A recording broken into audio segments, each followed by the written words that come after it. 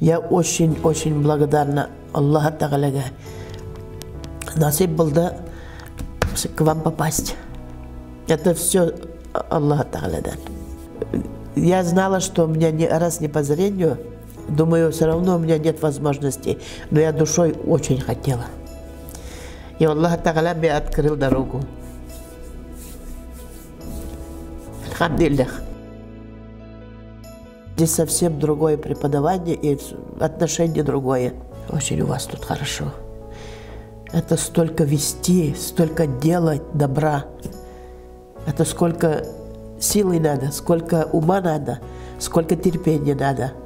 И сколько спонсоров надо иметь. Это же все договариваться надо. Вот, поэтому очень, очень даже благодарна. Поэтому я уже не могу тут